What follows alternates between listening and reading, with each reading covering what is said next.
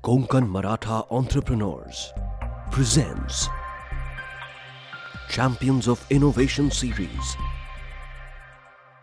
In my case, I was working in IBM, which is an American company, and that got closed down in 78. Okay. When it closed down 78, and we were highly paid people and highly respected in the country as such.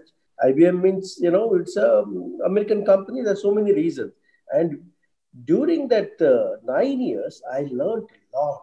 That is very, very important. I learned a lot on engineering. See, in classes or schools or college, whatever it is, it is all a theory.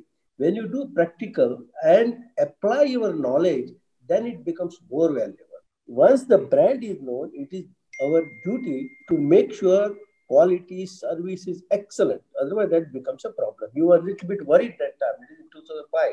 And 2009, we got parted off. We have become two company, two listed company. The D-Link India, that is only trading company, and SmartLink with DigiLink is a manufacturing company. So this continued for some time, and within two years, 2011, DigiLink was number one in India. When the brand is well known, they can introduce anything, it get accepted. All the brand companies, they build a relation with you. Once the brand is built, they say thank you very much and they leave. This is what happens. So you have to build your own brand. That is very, very important. If you don't build your own brand, most of the brand guys, foreigners, when the brand is well known and you being being a partner also, they will nicely tell you thank you very much and they will get you out. So this has happened to me with Gigabyte. This happened to me D-Link. There's a DigiLink. Fortunately, I could sell it. So these are the important things in life. You see, you should know how the brand is built. And brand building is also not so easy. See, brand building also takes a lot of time. Now, in the case of D-Link, that time, there were very less product. Now, if you want to introduce, let us say you want to introduce a mobile phone, mobile uh, phone, it is not so easy because mobile phones are there are so many. If you want to introduce, you should have some uniqueness in the product.